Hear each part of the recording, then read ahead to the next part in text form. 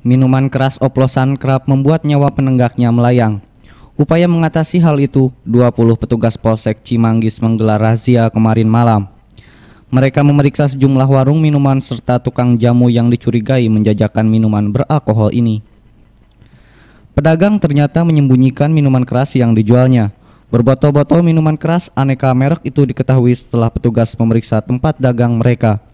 Dari pertigaan Curug Sukatani, petugas menyita 24 liter minuman keras oplosan. Sedang dari warung Jami di Jalan Pekapuran disita 20 kantong plastik ciu. Total sekitar 200 liter minuman keras oplosan disita. Nah, ini e, masalah hukuman ini tanah perda. Jadi untuk bawa barang bukti kita bawa ke polsek. Yang pemilik kita melakukan pembinaan sementara. Angga Fahlevi, Pos Kota TV melaporkan.